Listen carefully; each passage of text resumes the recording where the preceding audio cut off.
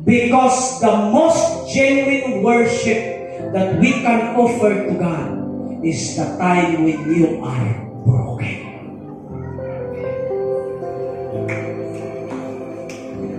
The time, Kuya Ruby, the, the best worship, the best time of worship is when you are in pain. The best time that we are worshiping God is conflict with your family. So that you can speak the name of Jesus over your enemy, over your sickness, over your family. Oh, hallelujah! Pwede ba ako makarinig mo lang? That is the best time to worship God when the time that there is brokenness. Because so that you can experience the healing, the miracle, the goodness, and the Christ. Hallelujah.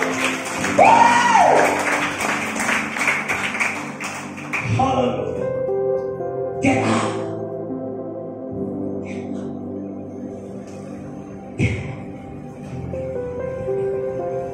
Get up.